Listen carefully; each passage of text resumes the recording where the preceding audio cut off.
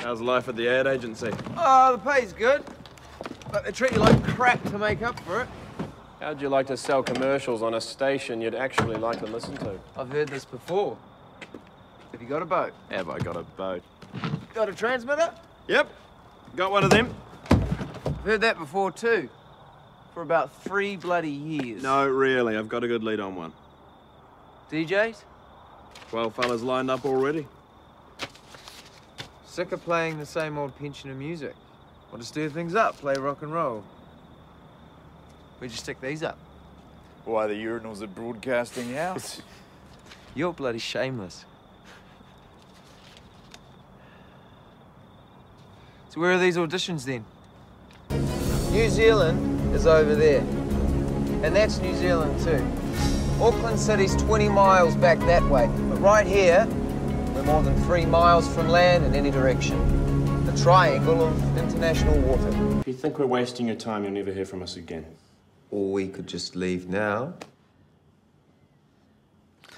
No harm listening now that you're here. Not you, Clive. The target audience. Radio Harrogate.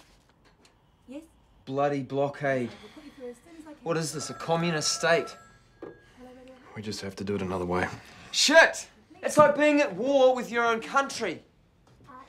I'm in a meeting. Sorry. I'll, Okay, so as soon as I can. what other way? Please hold. Hello? We cut the number of runs the supply launch does and do them at night. Cover of darkness. We'll use the seaplane more often. It can only land when it's flat. Lofty's already had to turn back twice. Doesn't have to land. We use a watertight container.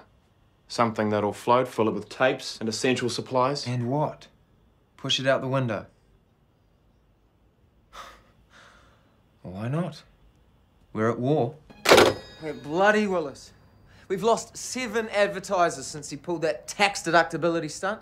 Clients are running scared. Okay, hang on. We have 115 clients. That's what, 5% who have conformed with Willis? The point is, Richard, it's trending downwards. We can't afford to lose a single client right now. Yeah, yeah, yeah, I hear you.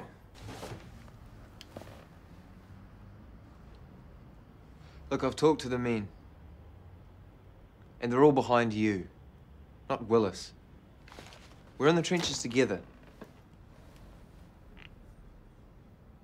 You can't do this! We all want to go back out there.